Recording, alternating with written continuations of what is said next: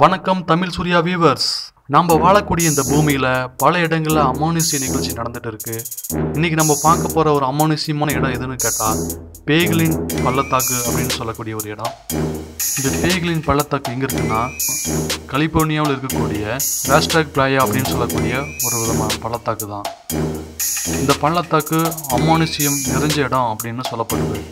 இங்கே இருக்கக்கூடிய கற்கள் பார்த்தோம்னா தானாக நகர்ந்து செல்லக்கூடியது. இந்த பள்ளத்தாக்குகளில் காணப்படக்கூடிய கற்கள் தானாகவே நகர்ந்து போகக்கூடியது. இங்கே இருக்கக்கூடிய கற்கள் எப்படி தானாகவே நகர்ந்து போகணும்னு கேட்டால்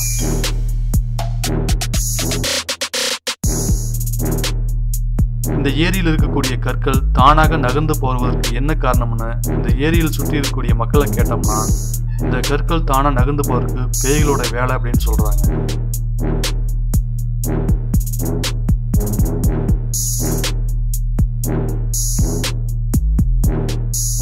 இந்த ஏரியில் இருக்கக்கூடிய மிகப்பெரிய கற்கள் கூட வெவ்வேறு திசையை நோக்கி தன்னைத்தானே ஒவ்வொரு திசையை நோக்கி பயணிக்கிறத பார்ப்பதற்கு மிகவும் பயங்கரமாக இருக்கிறது.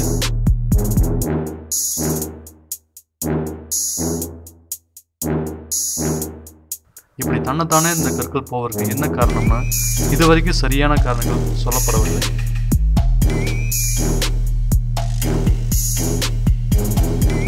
இதுக்கு ஆய்வாளர்கள் என்ன சொல்றாங்கன்னா இந்த ஏரியில் இருக்கக்கூடிய களிமண்ணோடைய தன்மை அதிர்வு காற்று என பல காரணங்கள் ஆய்வாளர் சொல்றாங்க.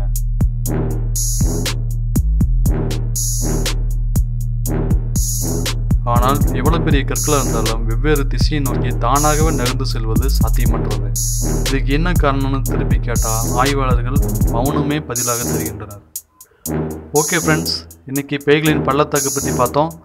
இதில் வரக்கூடிய தகவல் உங்களுக்கு பிடிச்சதுன்னா இதை லைக் பண்ணுங்கள் உங்களுடைய ஃப்ரெண்ட்ஸுக்கு ஷேர் பண்ணுங்கள் இது போல் பல தகவலை நீங்கள் தெரிஞ்சுக்கணும்னா இந்த சேனலை சப்ஸ்கிரைப் பண்ணிக்கிங்க. அப்படியே பக்கத்தில் இருக்கக்கூடிய பெல் கிளிக் பண்ணிக்கிங்க. புது புது தகவல்கள் உங்களை தேடி வந்துகிட்டே இருக்கும். மேலும் இது போல் ஒரு புதிய வீடியோ உங்களை சந்திக்கிறேன். நன்றி வணக்கம்.